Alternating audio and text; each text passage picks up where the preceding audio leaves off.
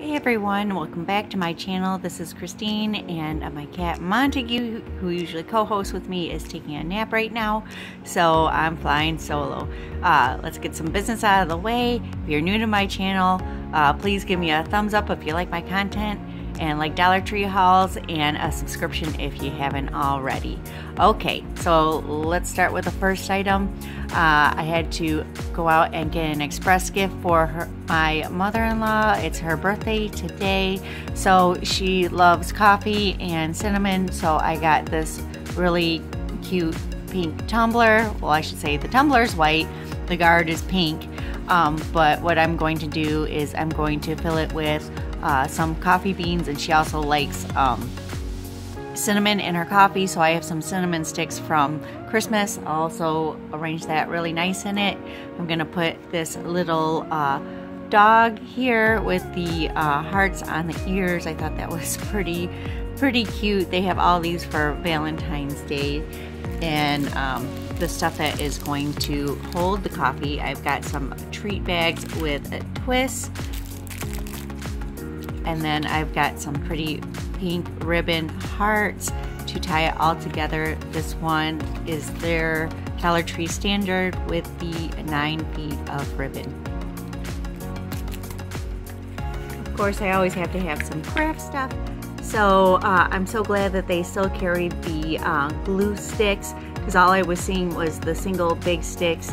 But um, for my boxes and paper projects, I do like using the glue sticks, so I picked up two of these. I also picked up two sheets of stickers. Well, actually three, but you'll see what I'm talking about. So this one is uh, the woodland creatures and they have this nice 3D effect on them. I just thought they were so stinking cute. So I had to pick up those, of course, because it has the fox on it. And then I've been eyeing this one for a while too. This is um, a bunch of owls and it has the tree and I just thought they were very sweet. And then um, the third set of stickers, which really isn't stickers, there it's a rhinestone sheet and I wish the camera would do it some justice, but they're very um, sparkly and they reflect really nicely. I got another one of these containers. They were selling out, so I didn't want to miss it.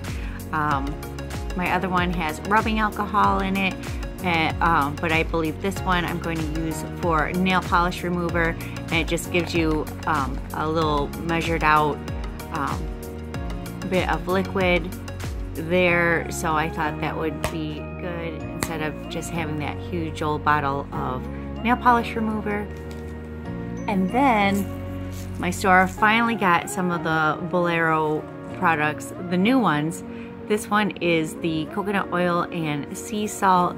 This is um, the bath salts, and I wish you guys could smell this because this smells amazing.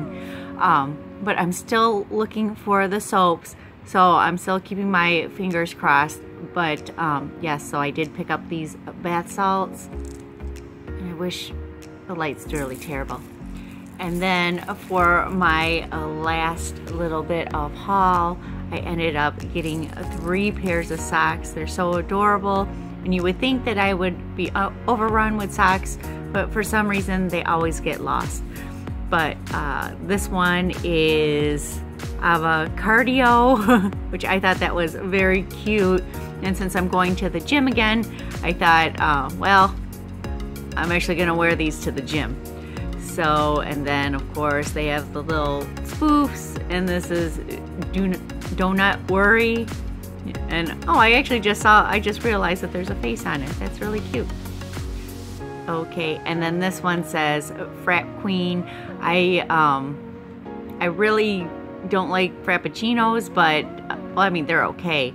But I'm actually a real big uh, coffee person. But these were pretty, and I liked them, so I got them. So anyway, uh, that is it for my haul. And I hope you guys are keeping warm and having a wonderful day. So we'll see you guys all the next time. Bye bye.